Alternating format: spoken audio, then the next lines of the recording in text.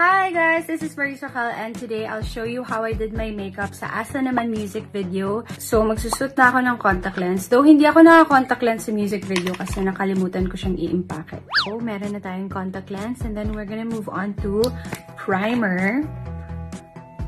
Then after primer, maglagay na ako ng foundation. Nakakatawa talaga yung mga sinasabi ng mga makeup guru. Kailangan natin mag-foundation to cover our imperfections. And I'm like, wala ko nun. Then, maglagay tayo ng concealer to hide our imperfections. Uy, ano to? Takpan! Uy, ano to? Takpan! Eyebrow fixer.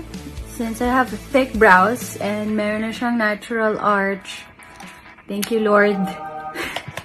Lalagyan ko na lang ng fake hair. So, yung eyeshadow ko sa music video, super simple.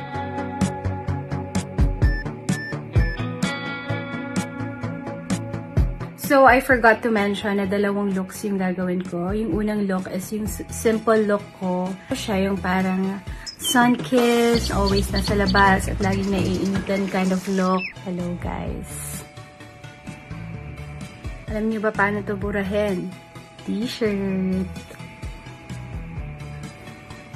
Tada! Babalikan natin yan later and then we're gonna move on sa cheeks. And for this look, gusto ko super blushing yung girl kasi para bagay sa character niya. So, I like to put blush here sa cheekbones ko para lifted. Diba sabi ko, babalikan natin yung eyes. Ayun na, babalik na tayo. So, I have this um, brush na medyo matigas yung dulo niya. I-extend lang natin ulit yung eyes natin.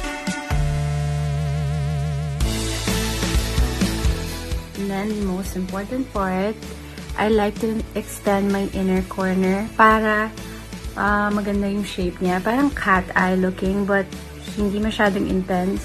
Para may intriga. Para alam mo yung mapacomment yung tao na, muta ba yun? Ay, hindi. Mata niya lang pala. Ganun talaga ako. I like to create issues. So, ganito yung effect niya. Maganda yung eye shape para pusa, kailangan natin mag-contour ng ilong. Here's a tip. And then, any kind of lip tint.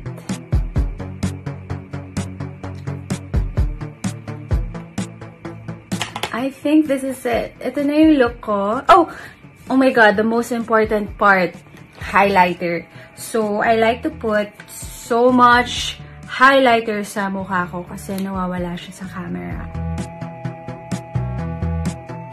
yung part na nasa duyan ako, yung parang gumanon ako, ang ganda ng highlighter ko doon. I'm so proud of that. And then, we're gonna move on sa hair. I'm gonna use this. Anong tawag na to? I forgot. Ito yung ginamit ko sa hair ko. It looked so cool kasi meron akong highlights noon but now natanggal na yung highlights ko. I'll show you in a bit kung ano yung ng hair ko. Wala pa! Wala pa rin. Ito na talaga. Tada! Ayan. Ito na yung hair ko. So, ginaganon ko siya para magmukhang natural. Kasi baka naman mahiya si Santo Niño sa buhok natin. Pero ano na siya. Release na ako in 3, 2, There you go! This is my first look sa music video ng Asa naman. And we're gonna change into our next look. Oh my God, I can't believe buburahin ko tong makeup na to. Pero sige na lang para sa inyo. Since I went for a more dramatic and classier look, dagdagan natin. So kapag nag-eyeshadow ako, to be honest, hindi ko alam anong ginagawa ko. I just do my thing and pray to God. Tingnan mo to. Hindi yan pasado sa mga makeup artists pero pumasa sa akin. Diba? That's the secret. Since nakapalan ko dito, I just Ganyan ang magic. And then, mag-add tayo ng eyelashes para mas dramatic. Ayan, meron na tayong lashes. Let's put some mascara. Tapos, naglagay din ako ng eye... Hindi to eyeliner yung kinuha ko. Tapos, kumuha din ako ng eyeliner. And, let's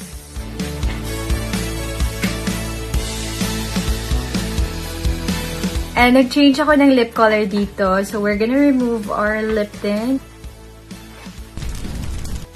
Ito yung color niya.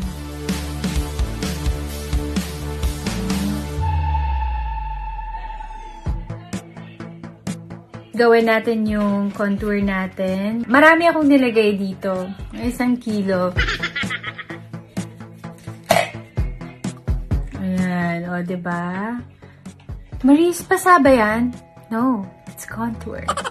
So, ayan yung look natin. Next is the hair. Now, we're gonna change our hair.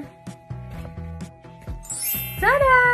Ito yung hair ko. Finlat iron ko lang siya at ginanon. O, diba? Pwede na ba ako mag-host sa PBB? O di kaya maging news anchor? We'll never know. Nagpapatrol. Maris Uman. okay, so papalitan ko na yung dress ko and accessories and I'll see you in a bit. Tada! This is my second look sa music video ng Asa Naman. So, yung dress na to, pinagawa ko to kay Calvin Barrios. And that's it for this video. I hope you enjoyed it. Don't forget to stream Asa naman on all streaming platforms, guys, please. And of course, the music video, it's up on my YouTube channel. See you on my next video. Bye!